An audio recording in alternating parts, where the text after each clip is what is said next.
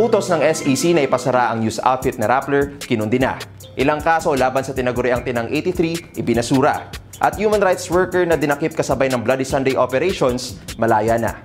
Ilan lang yan sa mga ulat ngayong linggo sa Atake Alert. Kinundi na ng iba't ibang media group sa Pilipinas at sa mundo ang pag-utos ng Securities and Exchange Commission o SEC na ipasara ang news outfit na Rappler. Tinawag nila itong panibagong atake sa press freedom sa bansa. Sa utos na nilabas ng SEC, sinabi nitong nilabag daw ng Rappler ang foreign ownership rules na nakasaad sa konstitusyon, bagay na matagal nang pinabulaanan ng media outfit. Ayon kay Rappler CEO at Nobel Peace Prize laureate Maria Ressa, magpapatuloy ang kanilang operasyon habang nilalabanan sa korte ang nasabing SEC order. Lumabas ang SEC order ilang araw matapos ipag-utos ng National Telecommunications Commission o NTC na i-block ng internet service provider sa Pilipinas ang websites ng higit 20 grupo kabilang na ang alternative media outfits na Bulatlat at Pinoy Weekly. Ayon sa National Union of Journalists of the Philippines, halatang ginagamit ng gobyerno bilang sandata laban sa malayang pamamahayag ang mga batas at regulasyon ng bansa. Nananawagan din ng mga grupo na agad ibasura ang utos ng SEC at ng NTC at itigil ang mga atake laban sa press freedom. Sa Tarlac, ibinasura na ng Kapas Municipal Trial Court ang dalawa sa mga kasong isinampa laban sa tinuguriang Tinang 83 o mga magsasaka at kanilang mga taga-suporta na nagdaos ng bungkalan sa Hacienda Tinang sa Concepcion, Tarlac.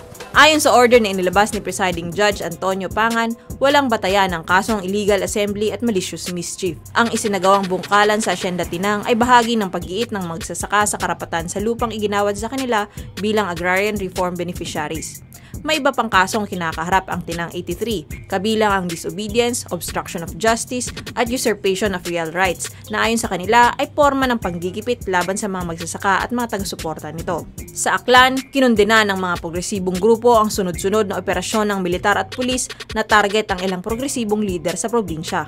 Ayon sa bagong alyansang Makabayan Aklan, nakaranas ng harassment at paniniktik ang kanilang chairperson na si George Calaor, tagapagsalita na si Kim Tugna at ilang pang miyembro ng kanilang organisasyon matapos magbahay-bahay ng pinagsamang puwersa ng 301st Infantry Brigade ng Philippine Army at ng local police sa mga bayan ng New Washington at Kalibo. Ayon sa Bayan Aklan, kung hindi matitigil ang sinasabing special operations ng AFP at PNP sa kanilang mga komunidad, maaaring humantong ito sa warrantless arrest at pagpatay, gaya ng naganap na masaker at pag-aresto sa mga katutubong tumandok noong December 2020. Sa Cavite, inaresto ang lider mangingisda na si Susan Agner kasama ang tatlo pang residente ng puwersa ng CIDG sa kasong direct assault. Si Agner ay leader ng Save Patungan Now Movement, isang samahang nangangampanya laban sa demolisyon sa komunidad sa Barangay Patungan, Maragondon, Cavite, kung saan higit anim na raang pamilya ng mga mangingisda ang naninirahan. Pansamantalang nakalaya si Agner at kanyang mga kasamahan matapos makapagpiansa noong June 27. Sa Calamba, Laguna, nakalaya na ang human rights worker na si Nympha Lanzanas matapos ibasura ng Calamba Regional Trial Court ang kasong illegal possession of firearms and explosives sa kanya.